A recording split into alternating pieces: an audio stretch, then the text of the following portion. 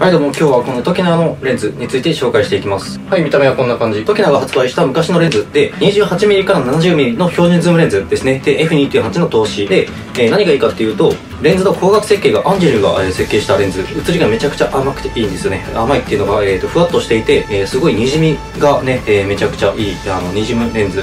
あのボケもめちゃくちゃ綺麗っていう感じのレンズなんですね。もうなんかにじみ方ボケ方がズームレンズのものじゃない単焦点レンズを使っているようなボケ方をします。にじみ方をしますという感じです。で、えー何が一番いいかっていうとね、えーこのアンジェリューが設計したこの光学設計のこのレンズを1万円ぐらいでね今買えるんですよ。これはねもう買った方がいい。本当に買った方がいい。で、えー本当にねこのえーボケ方がめちゃくちゃ綺麗で、えーにじみがすごいいいレンズを使って撮るとこんな写真が撮れちゃいます。はい。